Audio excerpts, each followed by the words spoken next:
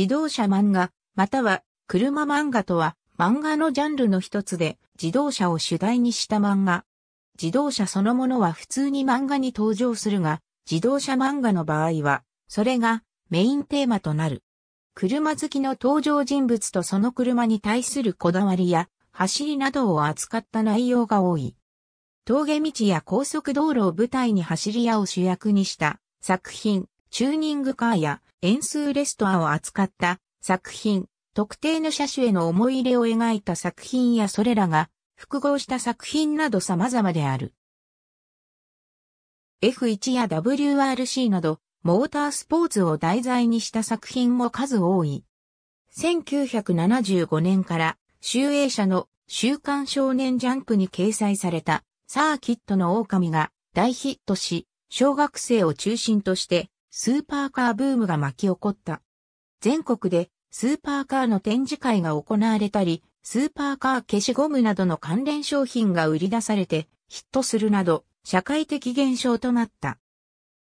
日本でのランボルギーニカウンタックの知名度は、このスーパーカーブームにより大きく上昇した。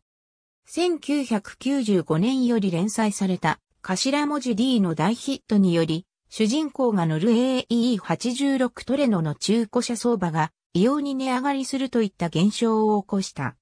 一般的にストーリー漫画は漫画雑誌に発表されることがほとんどであるが、自動車漫画の場合は自動車雑誌に掲載される場合も多い。講談社の週刊ヤングマガジンがこのジャンルに力を入れており、1990年代には車漫画とバイク漫画のみの GT 増刊を数度発行していた。主に行動を舞台とする走り屋を扱った作品。なお、共同危険型暴走族を扱った作品は、暴走族漫画を参照。特定の車種、モデル及び自動車メーカーを扱った作品。F1 などのフォーミュラカーを扱った作品。WRC などのラリーを扱った作品。レーシングカートを扱った作品。自動車企業を主題にした作品。主に自動車販売業、整備士、カスタム業者などの関連業種を扱った作品。主に解説を目的とした学習漫画。バスを扱った作品主人公がプロドライバーの作品。ありがとうございます。